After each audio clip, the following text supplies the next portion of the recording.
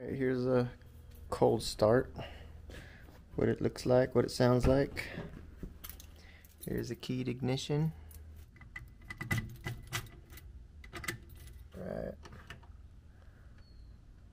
Glow plug light illuminates like it should for 9 seconds.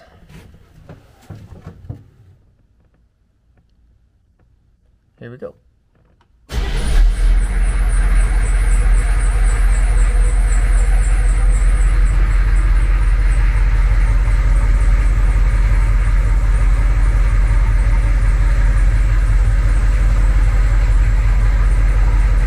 This is the parking brake warning light, so it's illuminated red right now.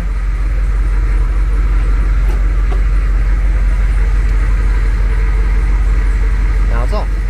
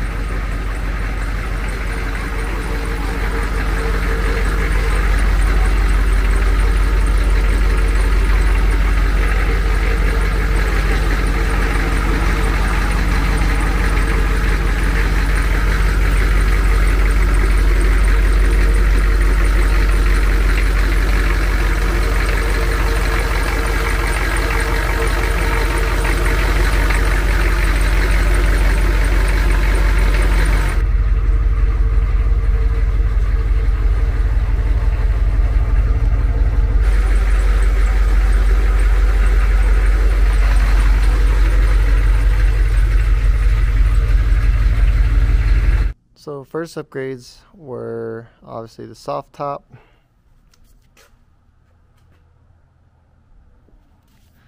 New soft doors. New rear curtain.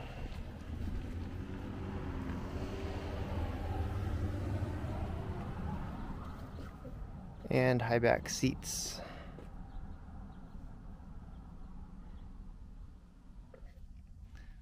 Um, all four brand new brand new seat belts and buckles.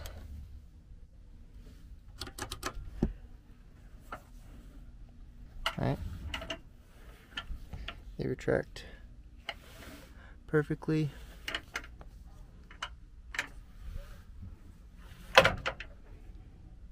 New little fire extinguisher. Newest upgrade is the wet sounds Stealth 6 and uh, Wet Sounds AS6 subwoofer. Both are sealed um, to the elements. You can get them wet, muddy, and I have a whole separate video on that I'll put in the description as well you guys can check that out uh, this sounds amazing alright took the doghouse off um, show you the back of the engine but mainly uh, the Cascar grounding harness right here okay? This grounds to the block and it has a bunch of leads going off everywhere. So when I originally got this from Plan B Supply they gave me a handful of new glow plugs which are those little orange uh, glow plug wires right there. Um, the glow plug wait light was not working. And after some research found the most common thing was this grounding harness. Worst case scenario for that was that the start box was bad which those can get pretty pricey. So um, you were just looking at the back of the block right there. Some of these leads come to here. Um, everything was basically an additional ground. So this was already grounded the alternator but the cast car grounding harness um, just had extra leads. The only extra one was this one that grounds to the body and this is actually goes to the top of the start box. So this was an additional. Um, the grounding harness also goes down under the passenger seat and grounds to the starter the block the body the alternator and then the top of the start box installed that put new glow plugs in there. Start system works fantastically now every time.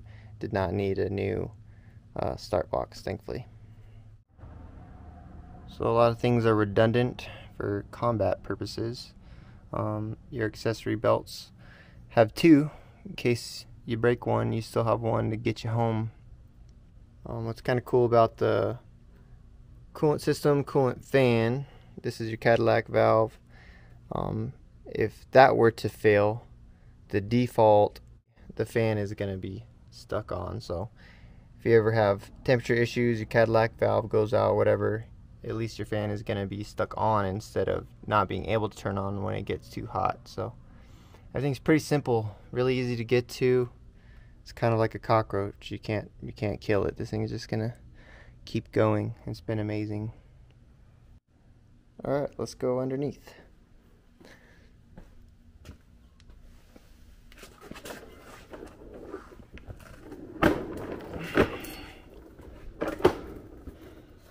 So all these CV axles have been rebuilt.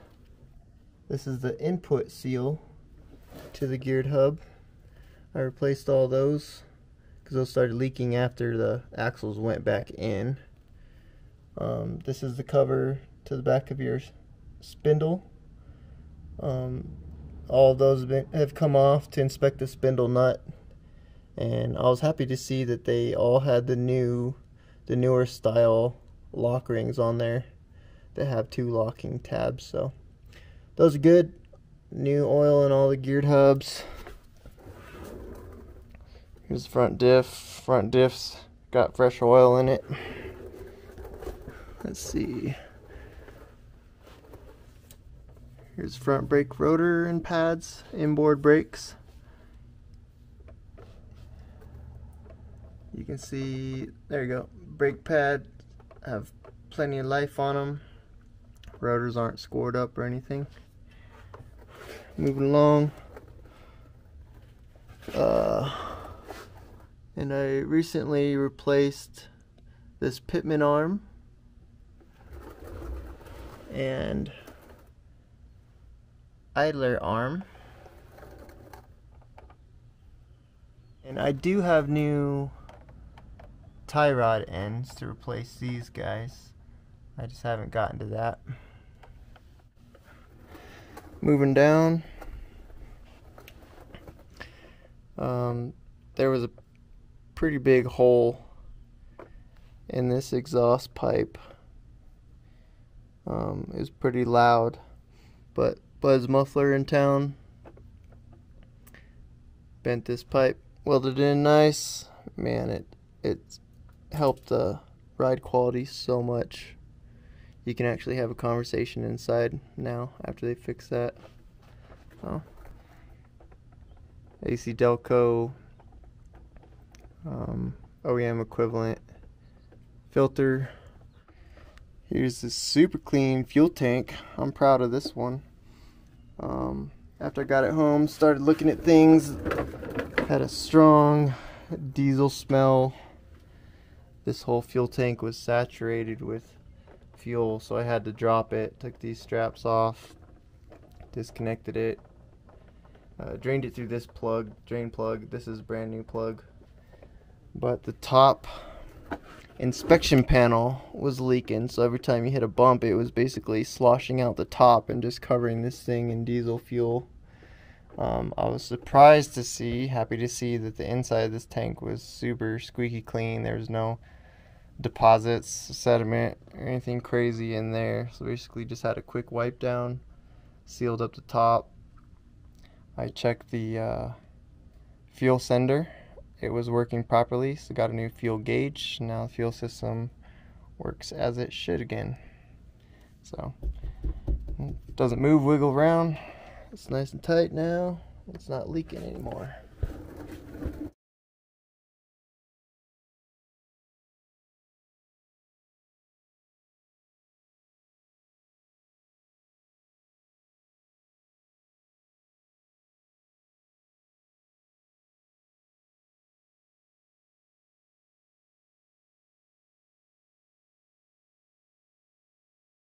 I had to take out the rear drive shaft to get the fuel tank out and the output seal was leaking.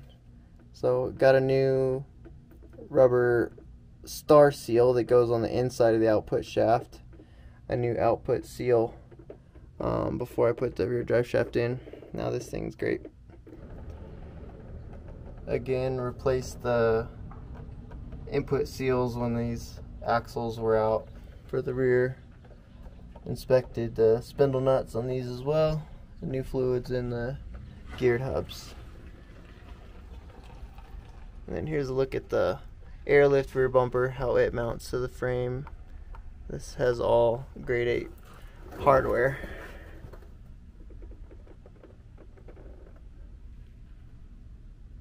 Is the back of the pintle hitch coming out the back. Here's the airlift bumper. Has a 2 inch receiver adapter. Hoops for your chain. And you can still utilize the pintle hitch. Here's the military 12 pin plug. This is 24 volts. I have a 24 to 12 volt converter on my civilian trailer with a 4 pin connector and it works great. Here's a look at the underside Body's nice and straight, not banged up, no holes, anything crazy. Both sides. Nice and flat, not dented up. No holes. Hasn't been high centered on anything. Here's a look at the exhaust real quick.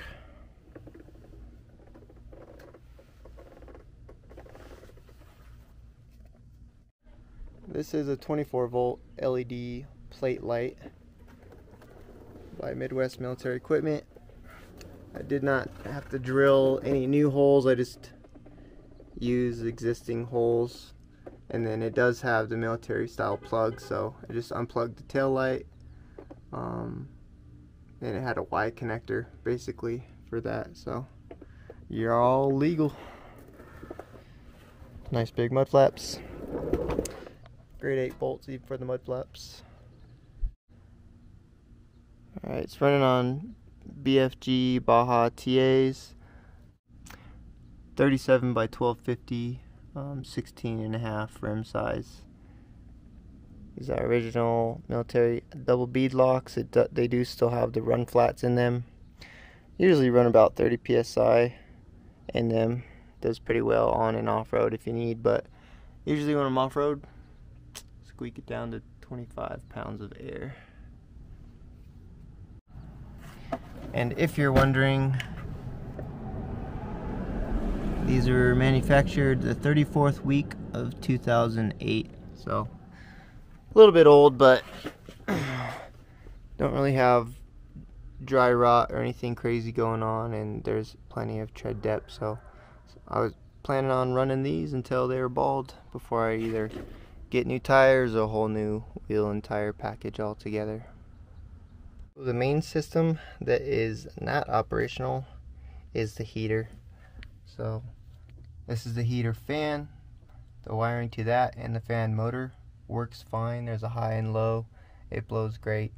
Um, it's just missing the duct work basically from here and here that runs up to like your defroster. So most people once they start getting into that pull this dash apart and find that the the ductwork is just dried up and torn up. So those parts are pretty cheap. Um, that was kind of the next thing on my list once the weather starts getting a little colder. I was probably going to get an aftermarket system to replace this. Um, the heater core is still here. I have no idea if it if it's good, if it has holes, or what the deal is. But basically all it needs is this hose right here. It's just looped back into itself. This one. There's an input and output. It's just looped into itself back into the block. There's supposed to be an um, two hoses that go in and out of the heater core right here and obviously there's nothing hooked up to it so I don't know if it's leaking or not. I was probably just going to eliminate that with an aftermarket one um, once it got a little bit colder. So here's your massive air filter. I had this out, blew it out when I had the uh, coolant tank out. So there are um, some tiny little spider cracks on the bottom of this. It had just a super small leak. Um, plastic welded the bottom of that and epoxied it. And it worked okay. I still planned on replacing that. This bottle's like 120 bucks 130 bucks or something like that. And I was kind of I was getting gonna get to that once I got to the heater. Because I I actually do have brand new top and lower radiator hoses in a box still brand new that I was gonna swap out when I drain the coolant, get a new bottle, get some radiator hose or uh, heater core hoses, and do all that at the same time. So I can run this thing for about a month, daily driving it to and from work a couple times a week. I took it to Woodland Park, Tarryall for some soft roading, and uh, this will lose maybe a half inch of coolant in this bottle over that length of time so not super worried about it and the temperature never goes above 200 the fan always kicks on um, and brings that temp down. I just keep an eye on it but it's not an issue. So here's my box of tie rod ends like I was explaining before. It's brand new ready to go in was kind of waiting to see if I was going to get new wheels or tires to do all that and alignment and all that at the same time. But these were for from uh, Midwest Military Equipment.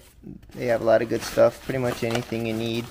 Not always the cheapest, but definitely have everything you would ever need.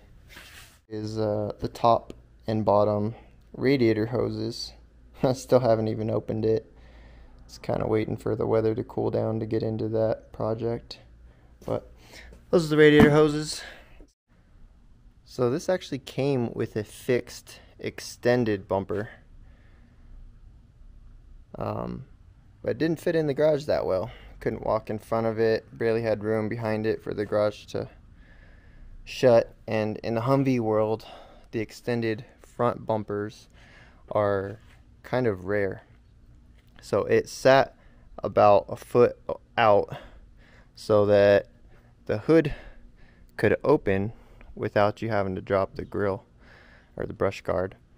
Um, that was kind of cool, but it looked kind of weird to me. I've always liked the flip down look myself, so I basically just took off the extensions and kind of modified this to make my own drop down. So this is the original hardware on the bottom that it came with, and then uh, I just got some pins and cut them off to length. So it can now drop down. It sits a little bit closer to the hood. Looks cleaner to me like this look a little bit better and I can get in front of it in the garage. And I do still have those extension blocks. They're super sturdy. Yeah if you want to put that back on instead. I didn't have to cut anything modify anything to do that so it can kind of work either way the next two big projects that were on my list were obviously one the heater I'm in Colorado so anticipating those cold mornings and then probably a bed liner paint job. So overall, the body and hood are in great condition. It does look like somebody did some fiberglass repairs before, but it's pretty flat. I, I probably wouldn't repair anything uh, if I was gonna paint this. I'd probably just do quick sand and straight to the bed liner paint job. Body's all aluminum, straight body in good condition, original CARC paint still. But these little marks, basically just the top layer of the CARC that were scrubbed off from something.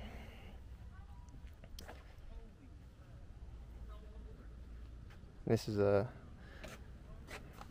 a lot of people refer to these as tailgate diaper, but it's for my mountain bike. So down tube sits right here, back tie right there, and I just use these tie downs to strap it down and kind of bungee my front wheel to the pintle. That's how I ride my mountain bike around.